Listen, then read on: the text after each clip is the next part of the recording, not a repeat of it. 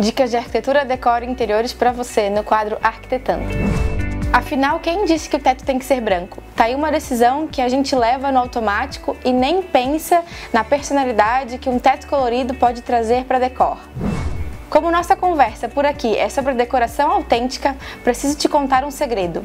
Cor é pura expressão de identidade no ambiente. Quando a cor vem de um lugar inesperado, como o teto, aquele efeito uau, que é instantâneo, expressa sua personalidade e fica estampado para te trazer aconchego todos os dias. Você precisa considerar quatro fatores na escolha da cor. Paleta de cor do ambiente. Leve sempre em conta as cores que já estão no ambiente na hora de escolher a cor do seu teto colorido. Até porque essas cores devem traduzir o clima que você quer para o espaço. A base de decoração branca e preta é uma aposta com pouquíssimas chances de erro e te deixa livre para mudar a cor do teto quando quiser.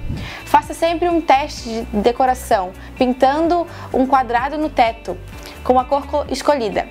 Essa daqui ó, é o teste fácil da Coral.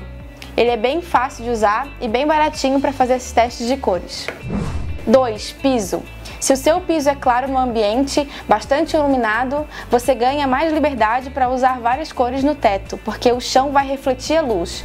No caso de um piso mais escuro, é melhor você escolher cores mais claras e com mais luminosidade, porque o piso vai refletir a luz.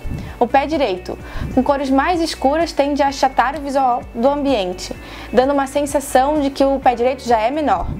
Para tetos menores de 1,80 de altura, dê preferência para tons claros. O azul, o rosa e o verde claros são interessantes porque eles suavizam e dão frescor ao espaço.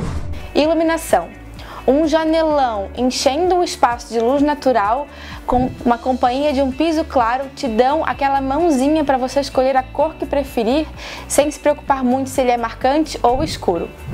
Agora você precisa de um pincel, uma tinta e disposição para deixar a sua casa mais descolada e cheia de personalidade. Quer mais dicas? Ficou curioso? Então entra no meu Instagram profissional ou me manda um e-mail. E semana que vem tem mais um quadro aqui no Arquitetando comigo no seu Jornal VIP.